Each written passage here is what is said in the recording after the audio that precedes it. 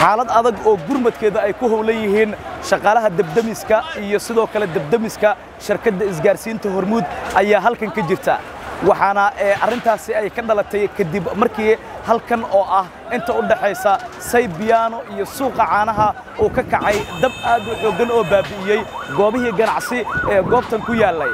Ilaa iyo iminka sida idiin muuqanaysa dabka waa uu soconayaa waxaana goobihii ganacsi ee halkan ku yaallay soo gaaray khasaare aad u fara badan oo hantiyadeed meeshan iga dambaysa waxay ahayd dukaamo iyo baqaaro ee lagu kaydin jiray ama lagu iibin jiray raashinka iyo noocyada kala duwan ee qutulduruuriga waxaana sidan ka dhigay dabkii xoogganaa ee ka kacay goor sii horraysay kaasi oo gebi ahaanba baabi'iyey baqaaradii halkan ku yaallay ganacsatadii ee goobtan lahayd oo qaarkood warbaahinta la hadlay waxa ay sheegeen in khasaare hantiyadeed oo aad u fara badan oo baaxaddiisa aan la qiyaasi karin in uu ka dhashay dabka halkan ka kacay weli waxaa soconaya dabka goobtan ka kacay ee demintiisa sidoo kale waxaa la tilmaamayaa in qaybaha dambe ee goobta dabka uu ka kacay weli dabkii uu ku sii dambeeyo islamarkaasina shaqaalaha debdemiska ay ku howlan yihiin deminta dabkaasi. Waxaana jira khasaare aad u fara badan oo aan la qiyaasi karin xaddiga uu la eg yahay.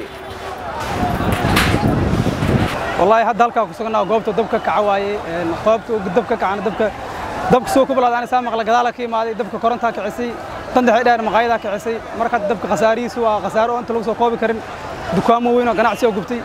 Goobo sidii kale ganacsi lagu horgada oo gubteen. Marka hadda wax dhimasho ama wax dhibaato u geysta male laakiinse dabka khasaarihiisu wuu badan yahay. Wax maanta inta lagu soo koobi kara maa waayo meesha dukaamo weyn oo raashinaa ku yiile teeda kaleeto meelo oo ganacsi kaleeto yaro maamooyinaa ku yiile marka hadda waa alxamdulillah dabka waa la dembiyey dukaamanka ganacsiga cadadkooda ku yiile horta hal dukaanoo baqaaro weyn oo ugu darnay caliyaro dukaankiisa waaye dukaanka raashin weyn oo xaafadana ka adeegto dukaan oo buuxuu ahay. Marka dukaanka hadda waxa laga badbaadiyay male saa indhaada ku arkaysa ilaa dabka ilaa hadda qiiciisa uu socdaabo. Marka hadda wax dhibaataana ma geysa laakiinse meesha hantiya ku burburto waa dareemi kartaa meel dabka kacday haddana waa lagu guulaysta dabdamiska inaa la dembiyo hadda wallaahi cadad hadda hanti meeshaas ma la koobi karo. Inkiis waa dareemi kartaa dukaan intaasoo kilomitir yahay oo intaasoo raashin ku jiraan meeshan dabaa ka kacay saaka dabkaas oo ka bilowday meel baalbeeriya oo tam lagu diray dabadeedna u gudbay baqaar se loo yaqaano tukaan dabkaasoo khasaare badan geystay. Alxamdulilah ilaahay ama had iska leh. Kulley qof kale hadda oo macnaha naf kale oo ku dhimatay ma laha. Laakiin gaar ahaan hal qofaa ku dhaawacmay oo laba booyidood isku dhaceen dhexdooda galay oo ku dhaawacmay. Alxamdulilah dabkii waxaan dadaal iyo waqti iyo juhbi aan ku bixino. Waa ku guulaysanay inaan damayno alxamdulilah ilaahay ama iska leh. Qofkii hantidaas ka gubatay ilaahay beddel khayr qaba ha siiyo intii ku soo qayb gashay gaar ahaan waqti ku lumisay kulley ilaahay unbaa waa og laakiin saa la ii sheegay dadkii iga soo horreeyay ii sheegeen maal beel baalbiyeeri timi lagu jira inaan ka bilowda la ii sheegay.